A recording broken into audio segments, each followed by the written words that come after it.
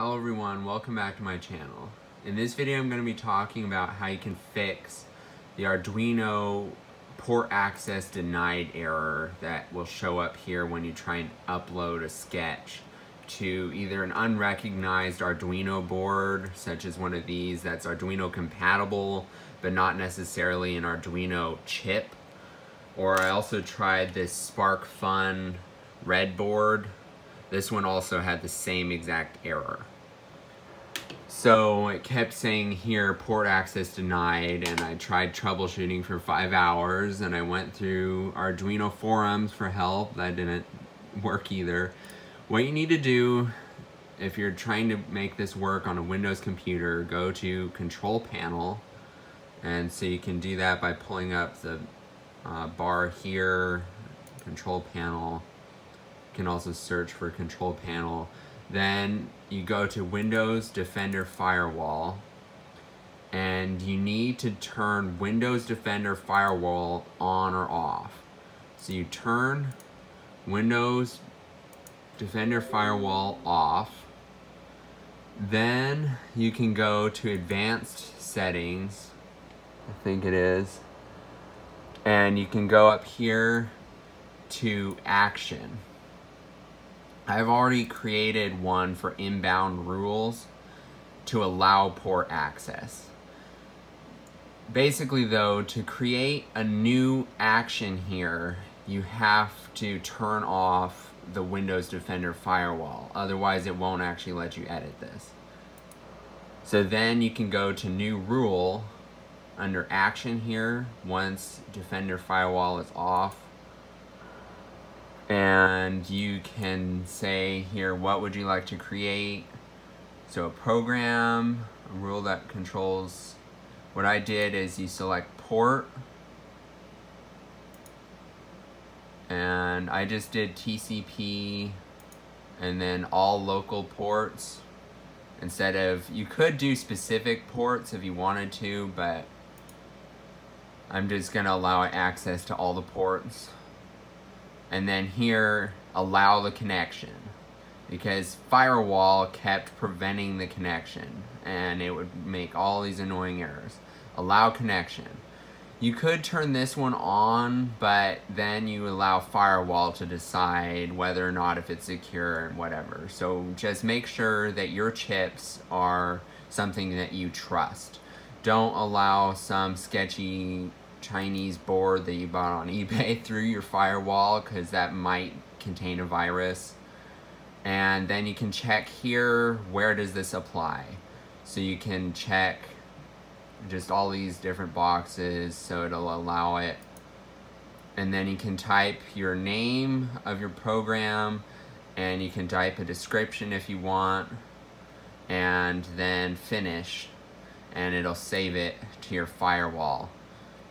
So I just did for mine allow port access as the name.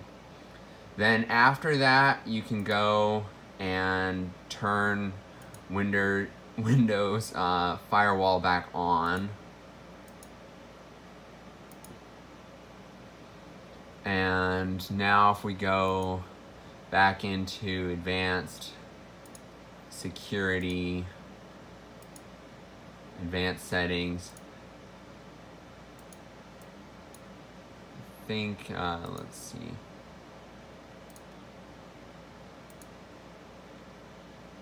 So see now under action, you can no longer select make a new rule because stupid Windows firewall. So yeah, and now allow port access is still in there because we turned off the firewall so we could make this rule and then we put the firewall back up. So the firewall is there to help protect your computer, but this is now able to allow Arduino IDE to have port access and not have Windows Firewall get in the way. So now if you plug in one of these chips that normally would be having an issue connecting it's a bit hard to plug in uh, chip and hold the camera at the same time. But anyway, there's one of those sketchy chips that now you can go ahead and select the port. It's already automatically selected, but otherwise you'd have to make sure your port is selected and the type of chip it is. And then compiling sketch, uploading, and then eventually it'll say done uploading. So now I was able to finally get my NeoPixels here to work after five hours of trying to get that sketchy chip there to work, but it's basically Windows Firewall that's blocking it because it kept saying it's an unrecognized device.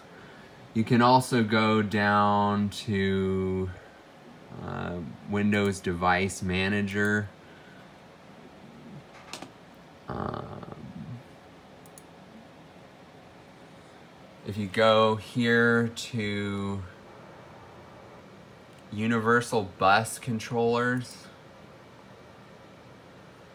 it kept ranking the chip there as an unrecognized device and it had a little error that would pop up.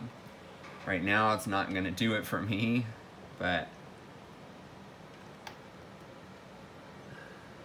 basically it's one of these. I don't honestly know which one it is right now, but Windows Firewall kept blocking it and saying that it is an unrecognized device. So now that we made that rule to allow port access though, I haven't had any other issues. So I hope this video helps. I apologize for not having a screen recorder to be able to do a fancier video, but this does, I think, help a lot. So anyway, thank you for watching. If you have any questions about this, just let me know. I'm happy to help troubleshoot with you.